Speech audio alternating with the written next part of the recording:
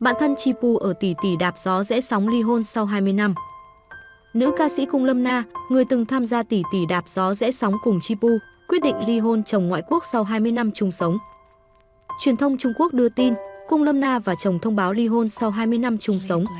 Thông tin trên ngay lập tức lên top 1 tìm kiếm trên Weibo, bảng giải trí, với độ thảo luận cao. Trên trang cá nhân, Cung Lâm Na đã có bài đăng ẩn ý việc đường ai nấy đi với ông xã người Đức. Nữ ca sĩ viết, chúng tôi bắt đầu từ âm nhạc, kết thúc bằng âm nhạc. Hôn nhân được âm nhạc làm mối, bắt đầu ở Trung Quốc, kết thúc ở Đức. Theo tờ 163, Trung Quốc, hai vợ chồng Cung Lâm Na chia tay trong êm đẹp, sẵn sàng hỗ trợ và ủng hộ nhau trong tương lai. Trong thông báo ly hôn, bạn thân Chipu cũng dành lời cảm ơn đến Robert Zolich và chia sẻ lại video chồng cũ đệm đàn cho mình hát. Đến năm 2023, Cung Lâm Na một lần nữa làm nóng hình ảnh khi tham gia tỷ tỷ đạp gió rẽ sóng. Tại chương trình, ca sĩ người Quý Châu có mối quan hệ thân thiết với Chipu, cả hai nhiều lần chung đội và cùng nhau ra mắt trong đội hình cuối cùng.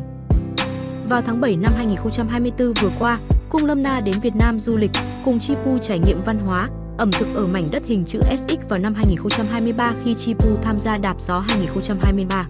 Trong khi bản thân Chipu đang loay hoay tìm kiếm thành viên cho đội của mình, chính Cung Lâm Na đã liên tục tự ứng cử chính mình, hứa hẹn sẽ dạy tiếng Trung cho Chipu.